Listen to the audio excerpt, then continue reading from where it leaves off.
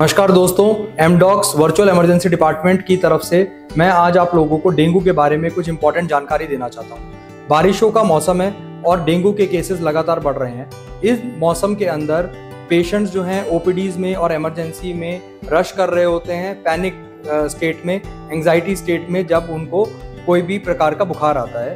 तो ये जानना हमारे लिए ज़रूरी है कि डेंगू के अंदर हमें कब हॉस्पिटल में या इमरजेंसी में दिखाना है और कब आप पैनिक ना करें। सो so, डेंगू जो है एक प्रकार का वायरल फीवर है। बहुत सारे केसेस के अंदर डेंगू एक सिंपल वायरल फीवर की तरह ही बिहेव करता है। उसके अंदर पेशेंट्स को बुखार रहता है जो कि तीन से सात दिन तक यूजुअली रहता है। और बुखार कई बार हाई ग्रेड भी होता है। लेकिन उसके साथ बदन में दर्द जोड़ों में दर्द ये सब चीज़ें, सर दर्द, ये भी सब हो सकता है। इसमें कोई भी घबराने वाली स्थिति नहीं होती। आपको बुखार कम करने की दवाई जैसे पैरासीटामोल वगैरह लेनी है और यूजुअली आप ठीक हो जाते हैं। लेकिन डब्ल्यू कुछ वार्निंग साइंस के बारे में हम लोगों को बताता है, ठीक है? डेंगू वार्निंग साइंस जिसके अंदर हमें लगता है कि डेंगू जो है वो सीरियस में कन्वर्ट हो रहा है सीरियस डेंगू में कन्वर्ट हो रहा है।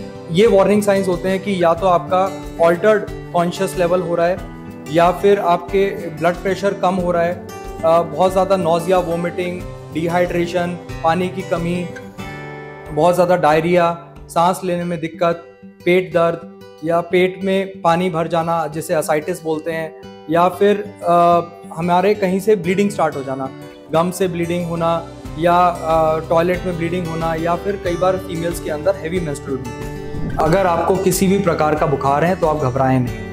हमारे वर्चुअल इमरजेंसी डिपार्टमेंट नंबर 99114 पे आप एक वर्चुअल कंसल्टेशन ले सकते हैं। अगर आपके बुखार में कोई वार्निंग साइंस एंड सिम्टम्स नहीं होंगे तो हमारे डॉक्टर्स आपको एक प्रिस्क्रिप्शन डिस्पैच कर देंगे टेस्ट के साथ और आप ओपीडी में कंसल्ट कर सकते हैं लैब रिपोर्ट्स के साथ। और अगर इन केस कोई भी serious signs and symptoms consultation में आइडेंटिफाई होते हैं तो हम लोग आपको हॉस्पिटल में एडमिट होने की सलाह देंगे और इन केस एंबुलेंस की आवश्यकता होगी तो एंबुलेंस भी प्रोवाइड कर सकते हैं। So stay safe stay healthy and enjoy the rainy season